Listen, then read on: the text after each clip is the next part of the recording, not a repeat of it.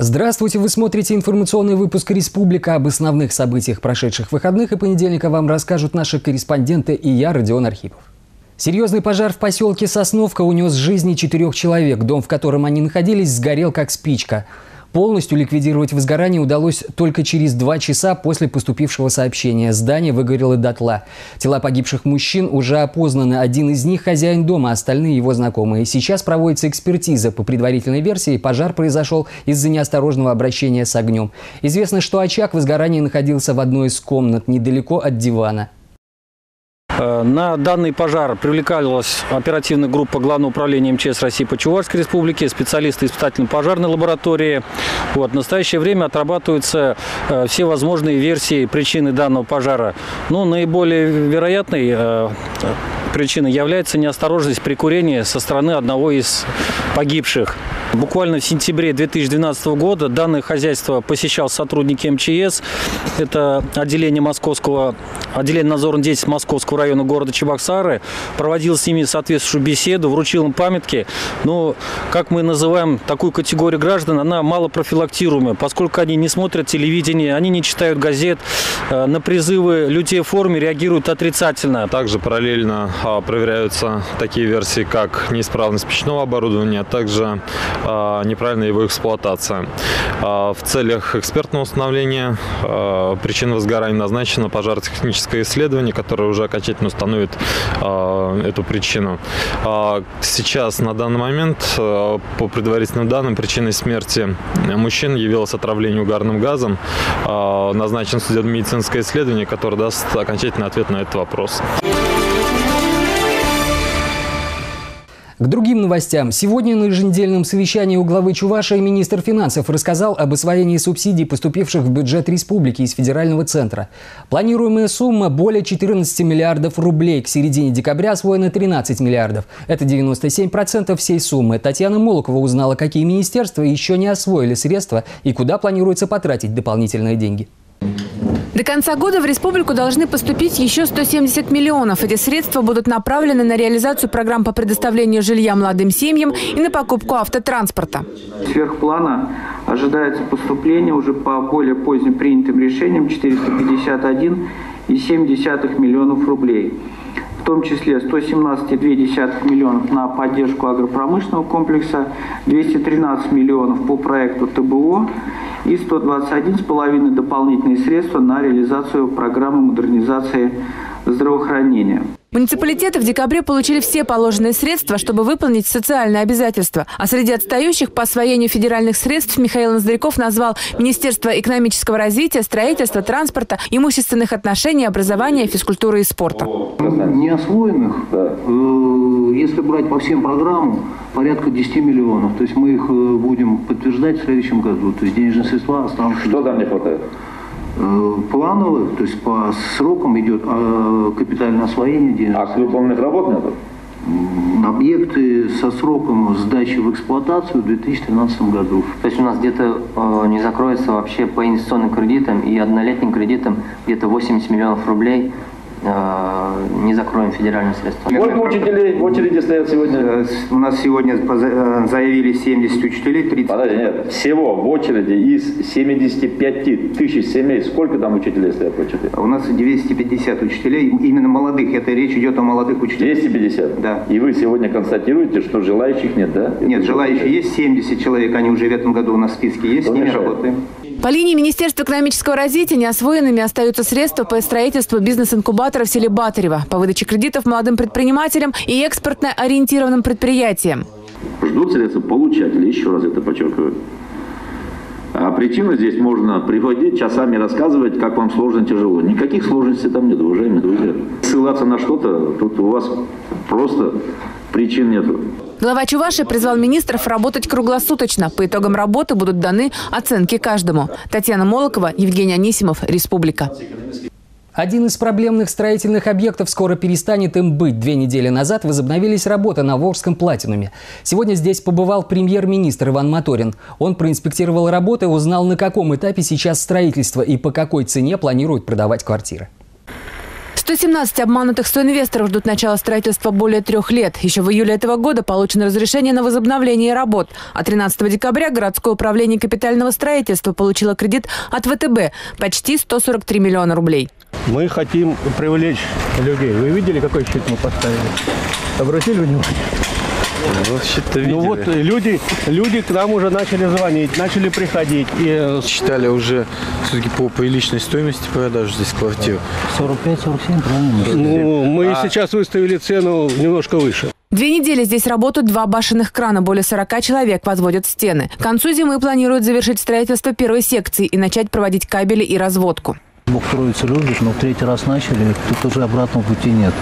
То есть третьего раза мы его завершим. На завершение строительства выделены деньги, но строители надеются, что с финансированием не подведут и долевики. Будут носить плату в установленные сроки. Критика в наш адрес справедлива, то, что объект э, запускает, был запущен вот осенью, сейчас и зимой 2012 года достраивается, а не 3-4 года назад. Но сегодня можно уже с уверенностью говорить о том, что есть у объекта хозяева, э, есть э, и посчитана экономика строительства. Здесь планируют продать 10 тысяч квадратных метров, при том, что цена будет варьироваться. Дольщикам пересчитают взносы в зависимости от оплаченных уже сумм. Одним из основных моментов была выдача денежных средств для того, чтобы достроить этот объект. Много было проведено совещаний, много было проведено встреч. Никто не мог гарантировать инвестору возможного окончания строительства. И было принято решение городом помочь этому объекту. Сегодня город несет солидарную ответственность по полученному кредитам. Татьяна Молокова, Николай Яковлев, Республика. 20 лет со дня основания коллектив управления федерального казначейства по Чувашии отметил юбилей. Поздравить их пришли руководители региона, представители финансовых органов, муниципалитетов, депутаты и деловые партнеры. Компьютер документы – это то, с чем ежедневно работают сотрудники казначейства. Они обрабатывают сложные данные. Это не просто цифры, а самые главные показатели Чувашской республики. Именно сюда, в Республиканское управление федерального казначейства, поступает полная информация о бюджетах всех районов. Надежда Белова – сотрудник со стажем. Трудится в управлении с 1997 года. Со стороны может показаться, что работа рутинная. Но Надежда говорит, скучать не приходится. Все электронно работаем, поэтому и работать стало легче, и клиентов стало меньше. Работа нравится. Казначей должен быть честным и всегда на первое место обслуживание клиента на высоком уровне. Управление федерального казначейства по Чувашии на сегодняшний день крупная финансовая структура с 23 отделами в городах и районах республики. Всего же в Чувашии около 500 казначеев. От них во многом зависит своевременная выплата социальных пособий и зарплат бюджетникам, охрана финансовых интересов, контроль за использованием казенных денег, подсчет приходов и расходов велся еще в Древней Руси. Казначей был важной фигурой в княжьем окружении. С 1918 года казначейство было упразднено. Его функции выполняло Министерство финансов. И вот 20 лет назад президент России подписал указ о возрождении системы. Я посмотрел ваши цифры по этому году, где-то 87,5 миллиарда рублей вы оборачиваете через свои рабочие места. Это огромные средства, если в среднем месяц взять, ну почти 7,5 миллиарда рублей. Но сегодня, в 21 веке, уже в современной России, в современной Чувашии работают информационные технологии. Можно уже, не приходя к вам, несмотря ваши глаза, можно уже трансформировать средства. Если взять 20 лет назад, 50 лет назад, практически ветераны наши, уважаемые, дорогие, представлять, наверное, не могли. Повышение открытости и прозрачности – одна из приоритетных задач управления в ближайшее время. Здесь трудятся целые династии, посвятившие свою жизнь казначейскому делу. А на счету созданного три года назад молодежного совета уже немало проведенных общественных мероприятий и полезных дел. Олеся Русакова, Татьяна Молокова, Андрей Спиридонов, Республика. Сегодня правительство республики подписало соглашение с автономной некоммерческой организацией «Школьная лига». Также называется проект, который курирует лига. Реализуется он Минобром совместно Роснано. В рамках специальной программы планируется обновить естественно-научное образование в школах, подготовить кадры для индустрии высоких технологий и воспитать потребителей нанопродукции. В проекте «Школьная лига» участвует второй лицей Чебоксар, а два дня назад к нему присоединился еще и 20-й лицей столицы. Вместе с тем, помимо участников, есть еще и просто партнеры. Школьная лига разрастается. Все больше желающих в регионах управлять из Санкт-Петербурга и Москвы, как сейчас становится сложно. Лига намерена создать региональную сеть. Об этом сегодня перед подписанием соглашения говорил представитель организации Михаил Эпштейн. Сам документ рамочный. На основе его уже можно будет делать э, конкретные шаги. Но в любом случае соглашение должно быть интересно всем сторонам – республики, школам и Роснана соглашение, которое подписано, третье в стране, значит, да, когда регион готов э, этим соглашением, да, гарантируя, что готов участвовать в развитии такого проекта, поддерживать детей, поддерживать учителей, поддерживать школы, которые готовы начать меняться. Да, так что в этом смысле, в моем понимании, мы, как э, ресурсная как школьная сеть, да, школьная лига, получим партнеров в лице Минэкономразвития, в лице Министерства образования и в целом правительства Чувашии, с которыми вместе сможем двигать проекты на территории Чувашии. А Чувашия получит в нашем лице помощь методическую, образовательную, программную, как бы иногда ресурсную, да, в развитии своих школ. С другой стороны, мы сможем тот интересный и уникальный опыт, который есть на территории Чувашии, представлять и другим регионам тоже. И в этом смысле возникнет такое взаимоопыление, взаимодополнение, взаимообогащение, что, на наш взгляд, реально работает. Городской клинической больнице номер один 35 лет. Не так много, но уже и немало. За это время больница успела стать многопрофильным лечебно-профилактическим учреждением, которое оказывает экстренную и плановую медицинскую помощь на уровне современных требований не только жителям Чебоксар, но и всей республики. Большинству жителей столицы Чувашии так или иначе приходилось обращаться в городскую клиническую больницу номер один, которую чебоксарцы по укоренившейся привычке называют больничный комплекс. Летопись больницы начинается с 1977 года, когда на площадях здравпунктов завода промышленных тракторов была открыта медико-санитарная часть для обслуживания работников предприятия и жителей Калининского района столицы республики. Оказывается медицинская помощь э, самого высшего уровня, и, естественно, люди едут со всей Чувашии и из других городов коллектив э, этой больницы всегда стремился познать больше, получить лицензии на разные виды медицинской помощи, хотя можно было пожинать на лаврах, но тем не менее коллектив не сидел на месте. Сейчас внедрено очень много новых современных технологий. Это медицинское учреждение, которое стремится вновь-вновь открывать э, такие виды медицинской помощи, которые не входят и в программу государственных гарантий. В Театре оперы и балета прошло торжественное мероприятие, посвященное юбилею больницы. Все, кто пришел поздравить медиков, так или иначе знакомы с их работой, так что пожелания не дежурные, а отзывы искренние. Это те организаторы здравоохранения, за широкими спинами которых прекрасный коллектив, трудоспособный, устремленный, ну и самое главное, с душой всегда с открытой относится к больным. Еще раз вас с праздником, еще раз вам всем здоровья, благополучия и удачи. И э, мы очень э, рады видеть вас на нашем празднике. Приглашенные на день рождения не раз подчеркивали, что городская клиническая больница номер один является ведущим учреждением здравоохранения столицы Чувашии. Здесь успешно внедряют новые методы диагностики и лечения, применяют в работе высокие технологии, постоянно совершенствуют свое мастерство. Татьяна Филатова, Игорь Поручиков, Николай Яковлев, Республика. Впервые в Чебоксарах группа «Назарет» исполнила золотые хиты для чебоксарских поклонников. Шотландскую четверку без преувеличения называют любимцами миллионов. В их багаже 29 альбомов. Все они стали классикой рока. На сцене музыканты 45 лет. Очередное турне многие называют прощальным – но лидер группы Дэн Макаферти утверждает, творческих планов еще много. За несколько часов до концерта он провел пресс-конференцию, на которой признался, за что любит Россию. В рамках нынешних гастролей группа приезжает в основном в провинциальные города. Тему продолжит Дмитрий Ковалев. На заре своего творчества мы и представить себе не могли о такой популярности, говорит бессменный вокалист группы «Назарет». Все начиналось довольно просто. На их пути к славе не было никаких преград. Музыканты, которые играли в разных группах, нашли друг друга и образовали свой коллектив. То, что он станет неповторимым, стало ясно в начале 70-х годов. Именно тогда они выпустили первый альбом. Вторая пластинка на протяжении многих лет была хитом продаж. Причем не только в Европе, но и Америке. Музыка очень важна для меня. Речь не идет о том, чтобы быть известным. Я знаю, что людям нравится наша музыка. Я хочу выходить и играть.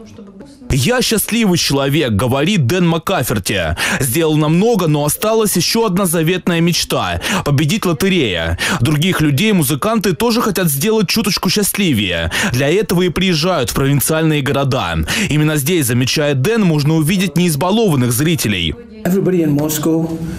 Люди в Москве, люди в Петербурге, они видят каждую группу. Они видят то, что видят жители Нью-Йорка. Интересно ездить в места, где люди видят немного известных групп.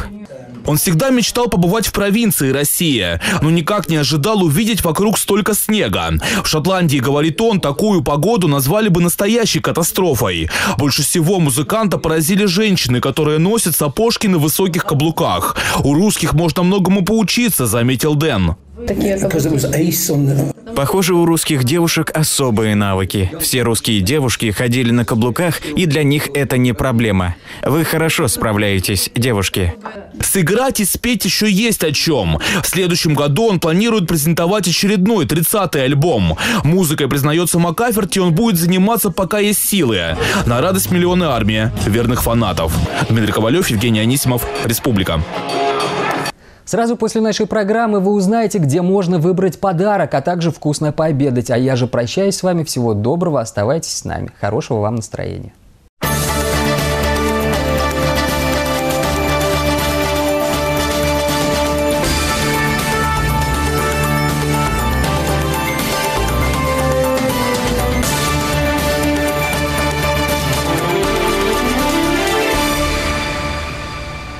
Кафе Гэллери – место, где вы можете пообедать днем и насладиться прекрасным ужином. Уютная обстановка, разнообразие интерьеров, мягкие удобные диваны. Для того, чтобы вы могли забыть обо всем и просто приятно провести время. Хорошее обслуживание, живая музыка, превосходные блюда специально для вас. В вашем распоряжении курящие и некурящие зоны, зал в японском стиле, уютная веранда и вип-зал.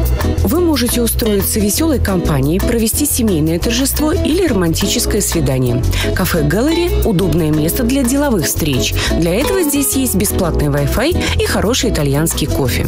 Мы дорожим своей репутацией, поэтому наши сочные стейки, тающие во рту десерты, оригинальные салаты и домашняя выпечка готовятся исключительно из свежих и натуральных продуктов. Здесь вы сможете по достоинству оценить европейскую, японскую и грузинскую кухни. Наши блюда не оставят равнодушным даже самого искушенного гурмана. Меню бизнес-ланча часто обновляется для того, чтобы вы всегда смогли могли подобрать угощение на свой вкус. Кстати, любое понравившееся блюдо можно взять с собой. И все это по вполне приемлемым ценам. Кафе Галлери – идеальное место. Приходите и убедитесь сами. Наш адрес – улица Энгельса, дом 3, дробь 1, телефон 57 07 35. Гжельская игрушка – новогодняя мечта коллекционеров всего мира. Фигурки птиц и зверей, забавные человечки, сказочные существа способны поднять настроение даже закоренелому мизантропу. Поверить трудно, неужели всего два цвета – чудеса. Вот так художники из гжели на снег наносят небеса. Впрочем, гжельский фарфор – это не только и не столько игрушка, но и посуда, и домашняя утварь, только не простая, а праздничная. Настоящую гжель производят в одном уголке земного шара в Раменском районе Московской области. Издавна там в 27 деревнях жили и работали народные умельцы, открывшие месторождение прекрасной белой глины и придумавшие этот неповторимый стиль. Всегда славилась умельцами, особенно фарфоровых дел мастерами. Все заводы, столь известные в советское время, выросли из дореволюционных фабрик или кустарных артелей. Профессиональные секреты передавались от поколения к поколению. Поэтому санкт-петербургские императорские сервизы до сих пор успешно конкурируют с мейсонским фарфором.